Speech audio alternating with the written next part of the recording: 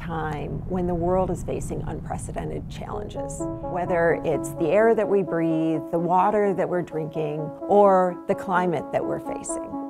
We're coming into a time when we expect to have over 9 billion people living on the planet, more and more requiring to live better and better lives. I believe that science is really the way to address these unprecedented challenges that we face. 3M is unique on a couple different dimensions. One is we're a science-based company, and so everything we do is designed in science and based on, on science. The second aspect that makes us unique is our collaborative culture. It helps our innovation model, for instance, because it helps collaboration. We get better ideas, we get more distinctive ideas, differentiated ideas, but also it helps us collaborate so that we make sure that we're bringing the best of 3M to our customers all the time. Sustainability at 3M is huge.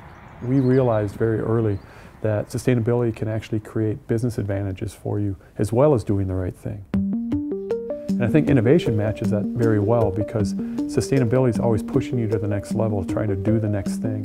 And that fits very well with an innovation model in which you're trying to create differentiated solutions. We really wanted to push our product developers and our, our business and our new product launches to think about sustainability and how they can impact the world and really our customers. With 50,000 plus products around the world, we now have a commitment in place that every new product we launch will have a sustainability value commitment. That means that from the very earliest stages of new product development, the ideas around sustainability must be considered. So if we're making a sustainability value commitment, we're actually impacting the sustainability output of our customers and therefore the entire value chain. And so our impact can be magnified a lot of our materials are now becoming more recyclable. We make roofing granules that can eat smog or convert smog and eventually reduce harmful emissions from cars and, and industry as well. We make air filtration, so you can imagine filters in smokestacks, but also filters for people or respirators for people.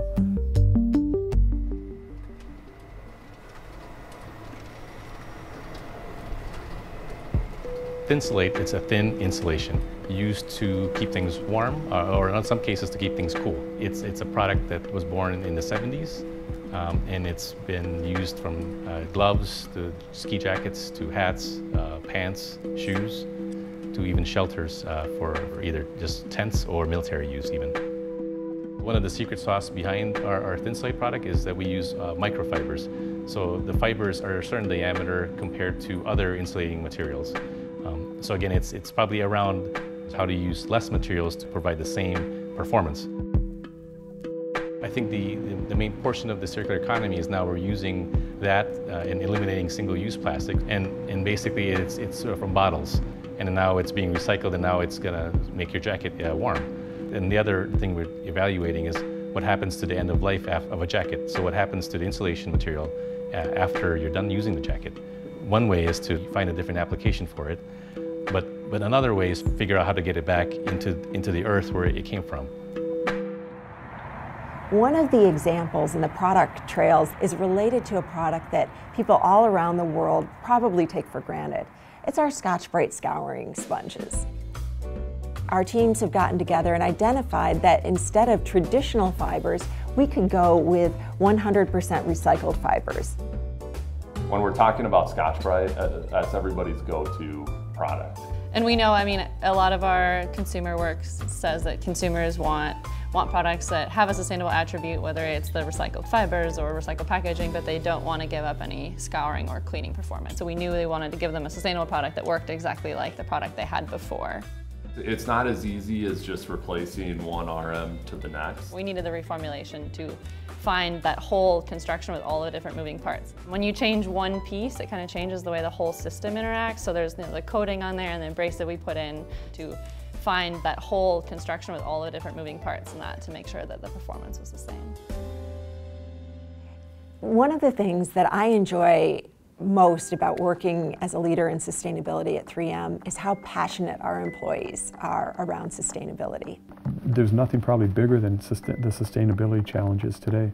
So I think there's a lot of 3Mers that are inspired and, and really passionate about trying to solve some of those problems because they're tough challenges, they're tough problems. and we want to solve tough problems. We were extremely excited when the United Nations brought forward their 17 Sustainable Development Goals. And they're very well aligned with goals that we have as a corporation. And all of these things are pieces that, yes, we need to do individually, as individuals, as corporations, but the real impact comes when we partner with others. We recognize that we have the opportunity to make tremendous impacts.